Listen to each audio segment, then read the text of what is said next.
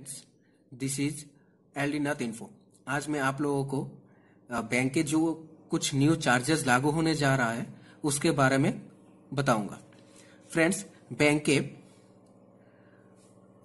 जो चार्जेस लागू होने जा रहा है, वो CC S B C A OD account पर, जो हम लोग कैश डिपोजिट करते हैं कैश विड्रॉल करते हैं पासबुक अपडेशन करते हैं, उस पर चार्जेस देने होंगे हम लोगों को बैंक को।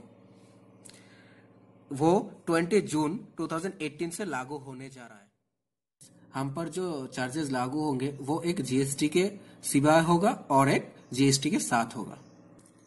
पर ये चार्जेस बैंक के स्टाफ एक्स स्टाफ डायमंड और प्लेटिनियम कस्टमर जो है बैंक के, उस पर, उन लोग पर लागू नहीं होंगे ये चार्जेस पहले हम बैंक के कैश विड्रॉल के जो चार्जेस है वो लाग, जो लागू होने जा रहा है उसके ऊपर डिस्कस करेंगे।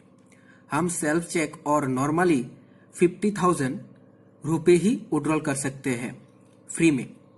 अगर उससे ज़्यादा हुआ तो हमारे अकाउंट से टेन रुपए ऑटो डेबिट हो जाएगा मतलब दस रुपए काट लिया जाएगा। और इसके सिवा अगर कोई थर्ड पार्टी चेक और कैश जो भी हो विड्रॉल करता है टेन थाउज़ेंड के टेन थाउज़ेंड और तो कुछ नहीं चार्जेस होगा। अगर टेन थाउज़ेंड के ऊपर हुआ तो आपके मतलब हमारे अकाउंट से दस रुपया प्रति ट्रांजेक्शन काट लिया जाएगा। ये तो हुआ कैश विड्रॉल के बारे में, जो चार्जेस है, वो बताया गया।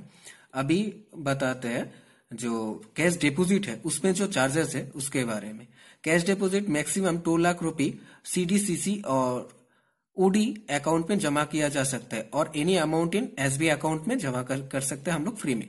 जो चार्जेस है उसमें जो चार्जेस लगेंगे वो चार्जेस है एसबी अकाउंट में मतलब सेविंग्स अकाउंट में फिफ्टी थाउज़ेंड पर डे हम लोग ट्रांजेक्शन करते मतलब जमा कर सकते हैं फ्री में और उससे उपरांत जो हुआ तो two point five lakh five rupee करके पर थाउज़ेंड काट लिया जाएगा और पार्टली मिनिमम फिफ्टी रुपए काट लिया जाएगा।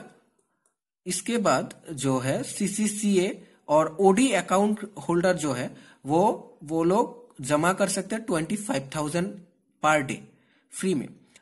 और इससे उपरांत ट्वेंटी फाइव थाउज़ेंड के उपरांत जो हुआ तो two point five zero per thousand और पार्टली फिफ्टी रुपए काट लिया जाएगा। सेम एज सेविंग्स अकाउंट और इसके बाद पासबुक अपडेटेशन पर भी चार्जेस लगेंगे अब।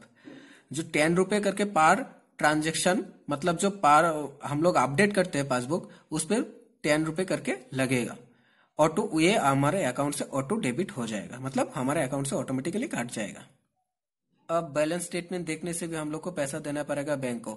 ट्वेंटी फाइव रुपए करके प्रति स्टेटमेंट। वो हमारे अकाउंट से ऑटोमेटिकली काट लिया जाएगा।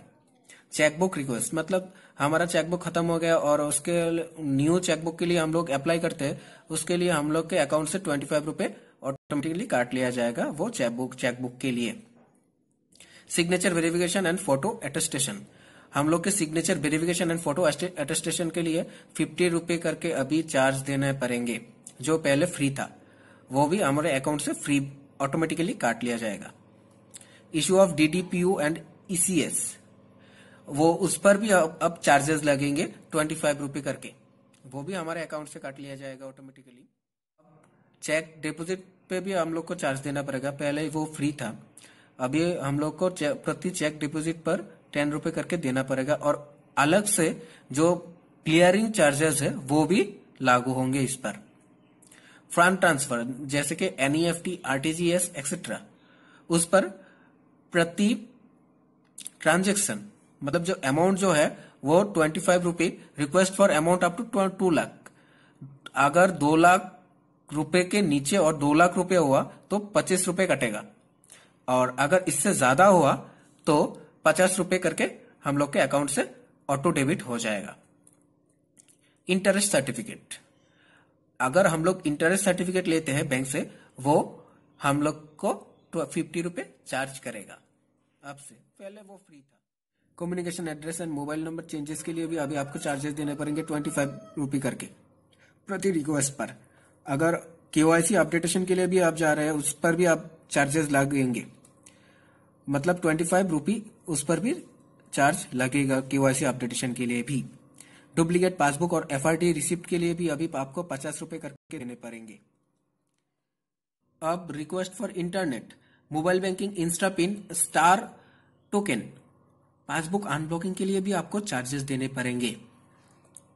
इंटरनेट और मोबाइल बैंकिंग के लिए आपको पच्चीस रुपए करके देने पड़ेंगे और पिन इंस्टा पिन और आधार रिक्वेस्ट के लिए आपको दस रुपए करके देने पड़ेंगे प्रति रिक्वेस्ट पर।